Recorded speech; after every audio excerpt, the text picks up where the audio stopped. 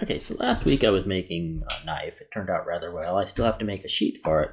And I was planning out how to make the sheath. And since I've got red liners on the knife and everything, I decided I wanted to do um, a different dye technique that I could put some red into the sheath. Uh, and what I'm thought about doing is block dyeing. And figured it was a good opportunity to make a video about what block dyeing is. So block dyeing just gets on the very surface of the leather. It doesn't flood the dye in. Um, but it creates an interesting effect. And it's called block dyeing because it's usually done with a block of wood wrapped in a piece of cloth.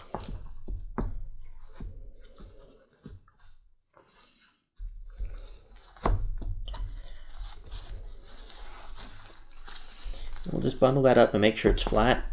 I'm going to toss a clip on it just to hold it in place. So now we've got a block and it's just wrapped in cotton cloth, thin. This is actually scraps of uh, bed sheet. T-shirts work. A lot of different things work. Uh, the trick is you don't want a lot of dye.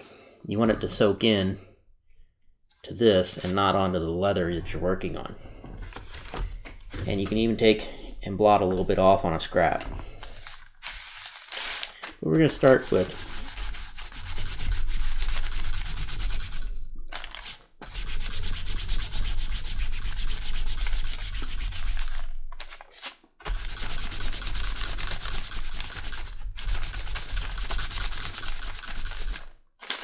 this basket weave pattern.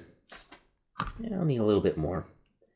And I'm using a really dark brown dye, dark reddish brown, that's called uh, Cordovan, made by Fiebing's. Uh, there's a lot of different colors to get called Cordovan. Everywhere from a reddish color to, like I said, this is almost so dark it's almost black.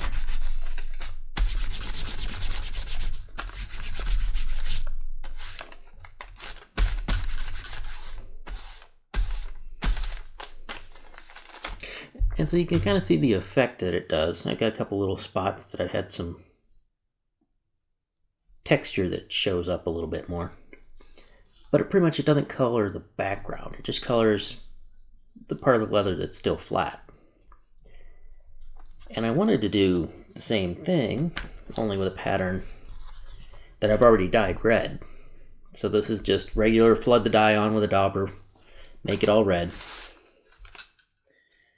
And then we're going to do the same block dyeing technique. And what I'm expecting is that I'll still get some of it in the center here where I've got this large area. And I'll get it on all of this. But it should still show up with a lot of the red as well.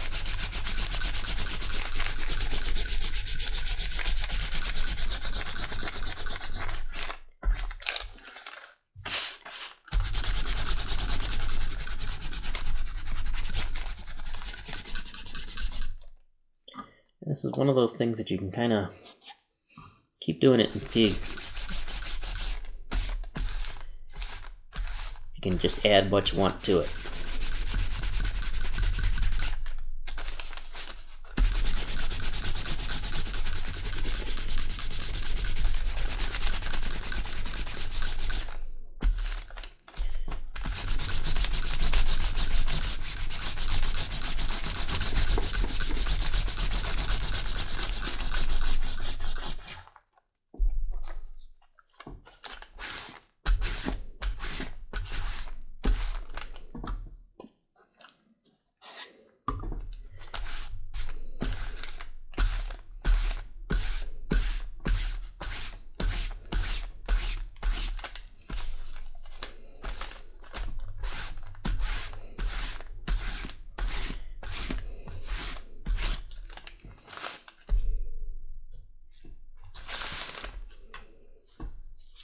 And so anyway, it's another coloring technique that provides kind of almost the exact opposite of what antiquing does.